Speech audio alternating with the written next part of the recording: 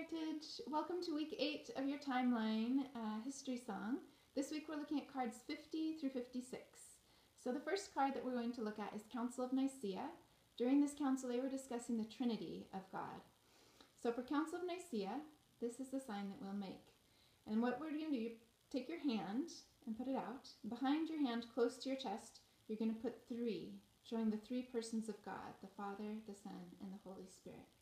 And then what you're going to do is you're going to bring those three fingers down and under, and when it comes back up, you're going to hold one finger up, showing that there were um, three persons in one God. So, Council of Nicaea.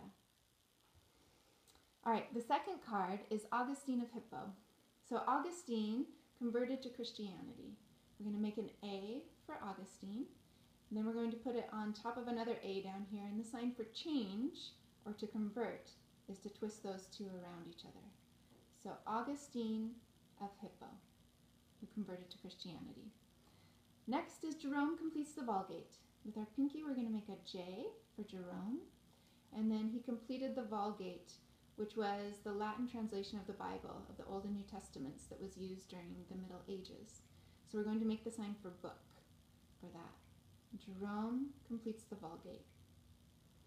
The next one is uh, Visigoths sack Rome. So for Visigoths, we're going to make a V. And then the sign for to take is to either pull both hands up at once or to do this, to pull them up one at a time. So Visigoths, sack, and then Rome. We make our R for Rome. Rome. The next one is the Middle Ages. So we're coming to a new era and a new age that we'll be looking at, and you'll notice that in the upper corner of your timeline cards, the color is going to change and the picture that's on there will change as well. So we're looking at a new age.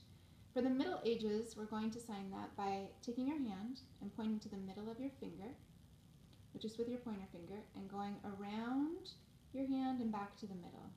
So the Middle Ages. And then they will give you the time period. So it goes from circa 450 to circa 1500.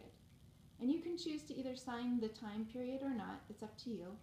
Um, but to make 450, we just do the 4, 5, 0.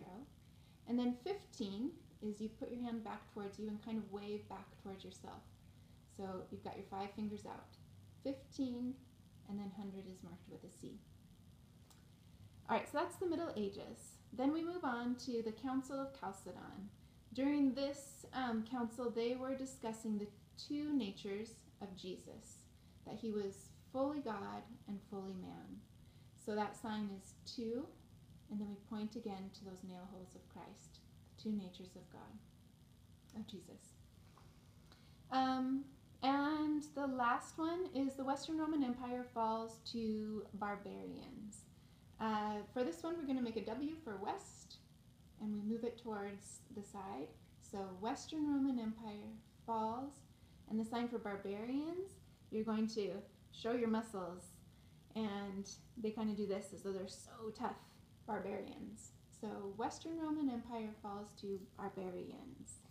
And that is week eight. Have fun, you guys.